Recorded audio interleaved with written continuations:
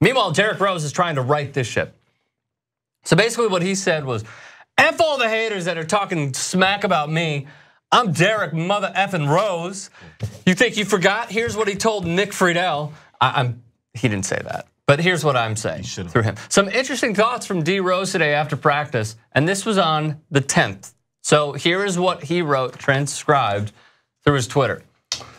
Derrick Rose, when asked if he feels there's still people uh, cheering for his, what does it say, cheering for his return and also doubters who don't believe in him anymore. This is how I feel about it, the whole perspective on it. You could have you could have your perspective on me as far as I'm a bum, I can't play, I can't shoot, this and that. All right, cool. I have no hard feelings with that. I'm cool with that. If that's how you feel, that's how you feel. But at the same time, I don't need your effing validation. I know who I am. I know what type of player I am. So you respect that and respect that point of view. And we should be good. That's how I feel about it. Derrick Rose has always been outspoken. Sometimes, though, it's bit him in the ass because a lot of times he's come off as, I hate to say it, but an ass. Yet here's what Derrick Rose said previously to the Minnesota media. Um, I think I could play with anybody, tell you the truth. Um, I know the game. I'm not a selfish player, and I'm not here for stats or anything like that. I just want to win. I'm still here. You know what I mean? That that shows everybody about my character and all that. I'm still here playing. I'm still I still love the game.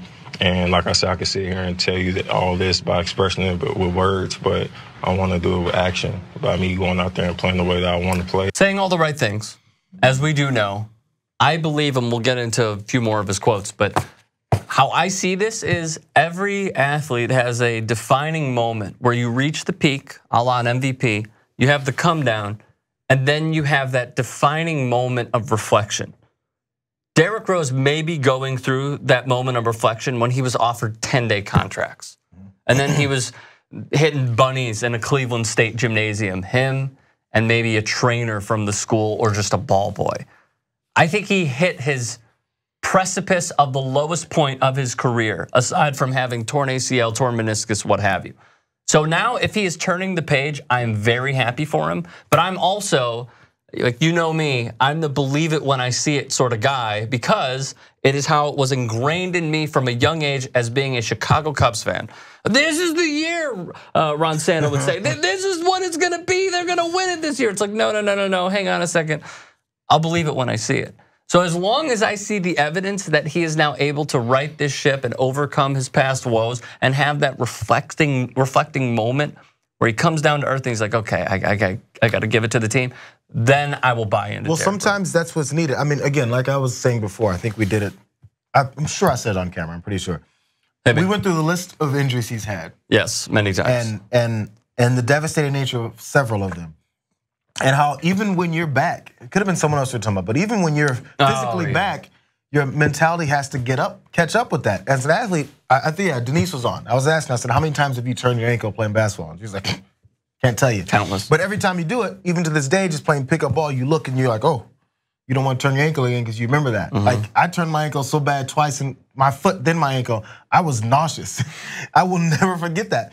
So your mentality has to get back, especially the level this high in NBA, to the caliber play he was.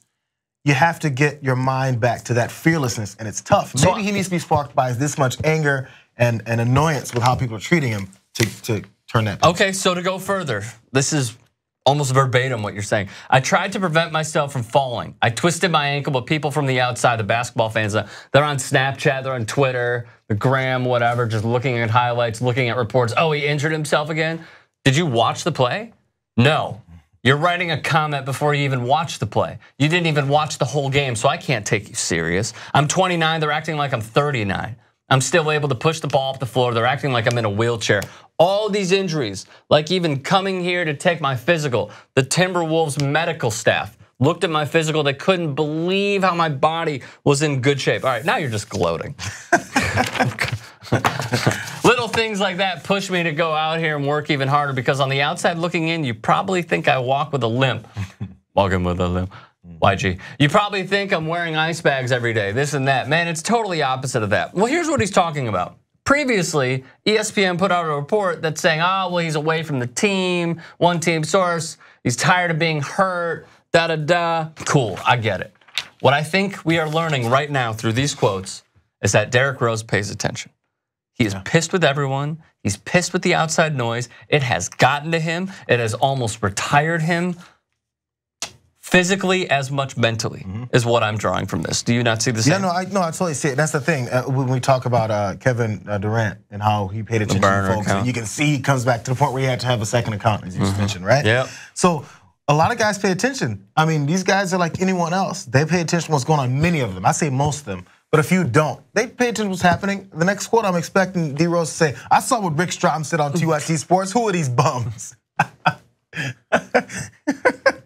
so, I mean, he pays attention to what's going on. It's just, of course, the smart thing to do is to not say anything openly directly to media because it would fuel it. But he's like, I've been quiet, and this stuff is still being fueled. But he hasn't been quiet. He's not responding like this. That's his actions have spoken louder than words. I mean, the way he, he's playing. But I'm talking about his annoyance with the, the perception of him being an old ass man who walks with a limp and has ice on his knees every day. Right, but he also to go to the point of with a limp and his knees, nice cut by the way, with a limp and his knees and crap like that. He said prior to entering free agency, I don't know.